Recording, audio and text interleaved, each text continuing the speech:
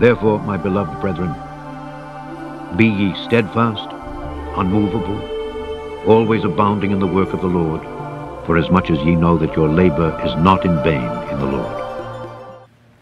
Verse 14 I will therefore that younger women marry, bear children, guide the house, give none occasion to the adversary to speak reproachfully. Right? Don't give the devil an opportunity to speak against you, young ladies. What you need to do is be raised with the goal to find a godly husband, marry a man that wants to, to provide for you financially and spiritually. Make that your number one goal. Don't worry about your career. Right? Don't worry about what school you go to. Hey, if you never go to college, but you raise godly children, that is a, a, a that is awesome. That's like the best job you could ever have. That's the best thing you could ever do. He says, marry, bear children, right? Your husband needs to be a man of God that's willing to work and provide for you so you can have children, have babies. The Bible says the fruit of the womb is his reward.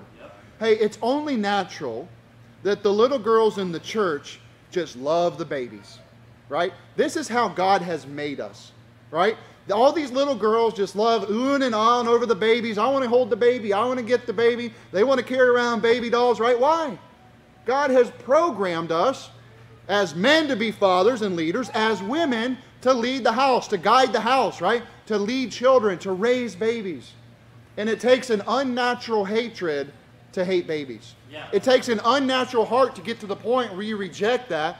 Oh, these children, I just can't stand children. Man, there's something wrong with you, right? right? I love babies. Like, I, there's I preached a, a, long time ago about the, a revelation, and that video is getting a whole lot of views on YouTube, and you can hear the babies in the front row crying.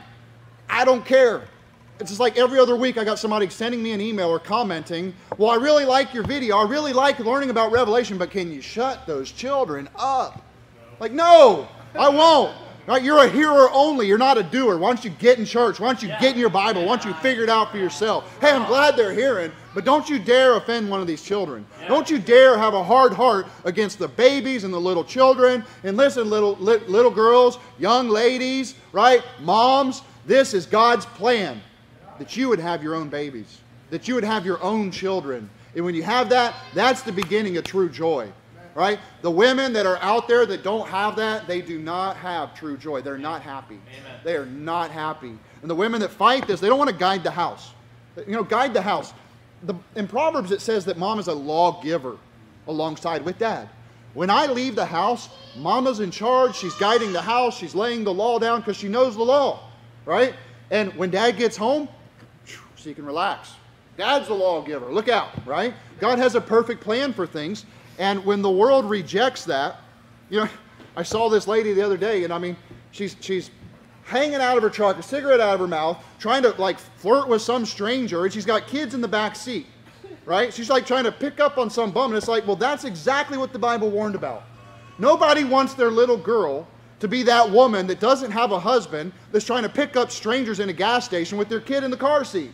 Like, that's weird. That's what this world has become. This is the fruit of rejecting God's law. Right. This is what happened when you say, I'm going to do it my way. I'm going to just follow the lust of the flesh. Guess what? You're never satisfied. Right. You're never happy. True joy comes in motherhood, true joy comes in parenthood. Having babies, enjoy them, not yourself. And that's the problem. They would rather enjoy themselves. Ooh, I got my, I do this, I do that. Hey, go away, I don't have time for you. Right? That's the spirit of the world. Right? We're different.